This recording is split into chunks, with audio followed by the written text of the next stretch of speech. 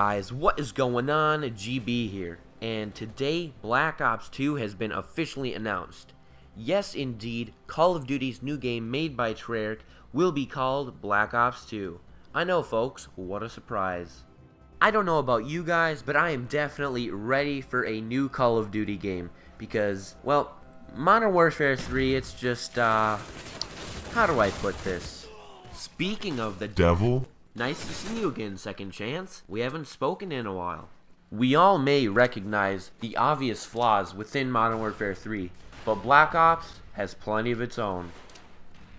I actually thought that Treyarch was going to completely revolutionize and innovate this series once again as they have done in their past two titles.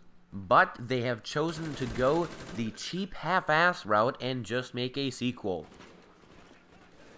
I am obviously kidding, guys. I am extraordinarily excited about this game, and particularly this sequel, because it's not just a Modern Warfare, Modern Warfare 2, Modern Warfare 3.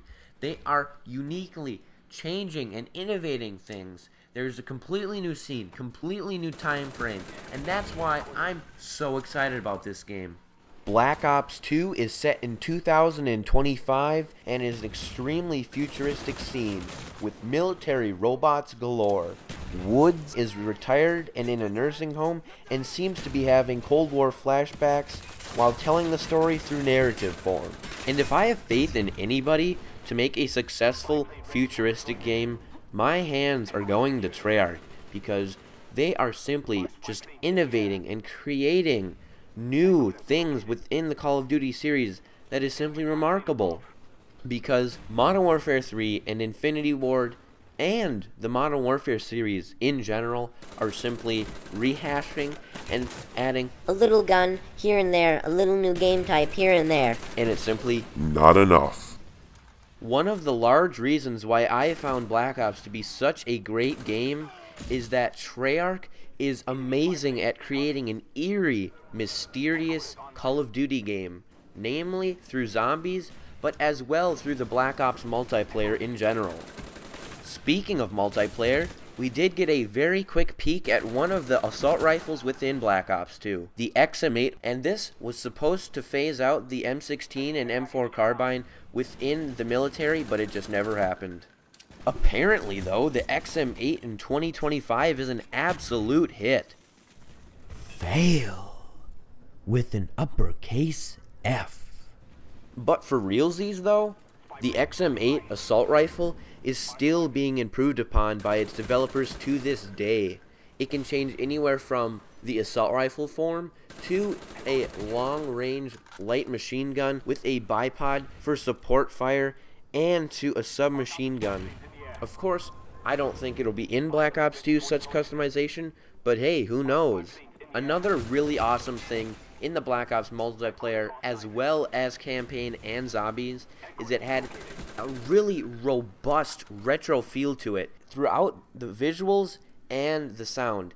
It just made me think of going to a nice diner and ordering a double cheeseburger with an ice cold mug of root beer. I don't know about you guys. You might think I'm a frickin' creep, but I just love that retro feel that Black Ops did possess.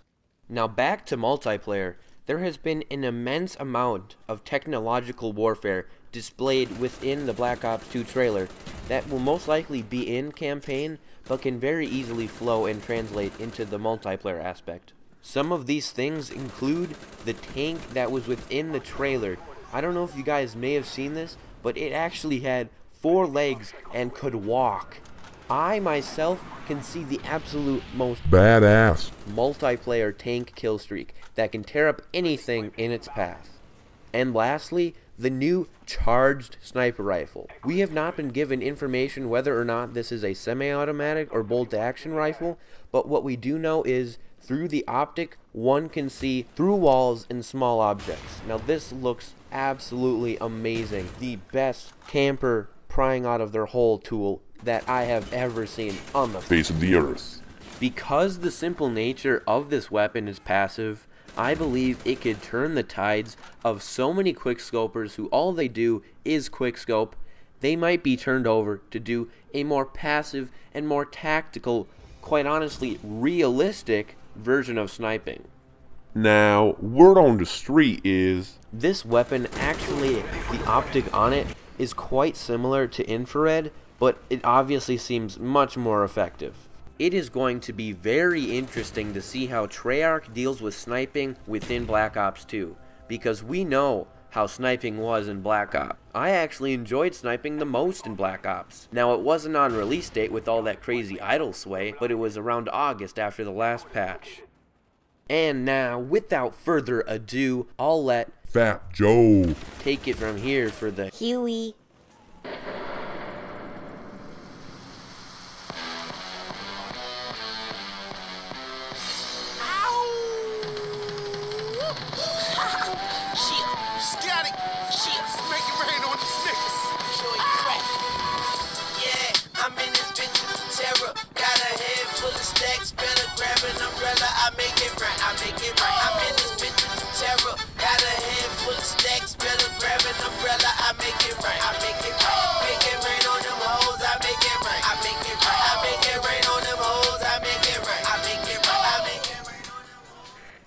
Now back to sniping.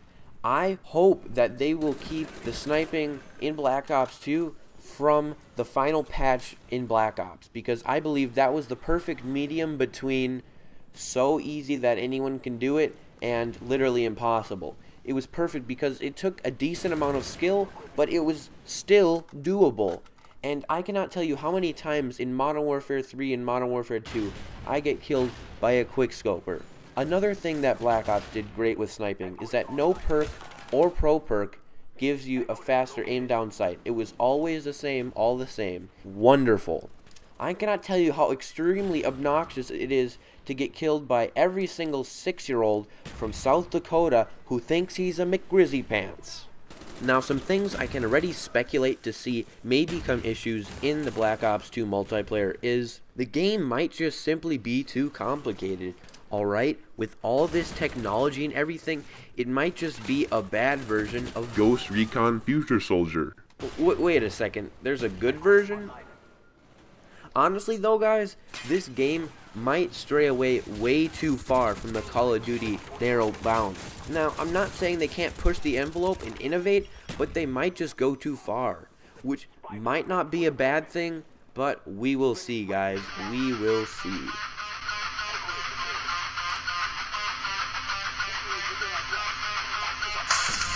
Now, last but definitely not least, Zombies is obviously making a return. This was one of the strongest aspects within Treyarch's Call of Duty games. Now, they have put 300 people behind the zombies aspect of Call of Duty Black Ops 2. Now, this looks awesome. They're also hinting at possible 8 players within one lobby. And this means bigger maps, more complicated maps, and a lot more to come, guys. I am really excited. Set your calendars, ladies and gentlemen, November 13th. That is about it, guys. I will see you next time. I'm GB, and I'm out.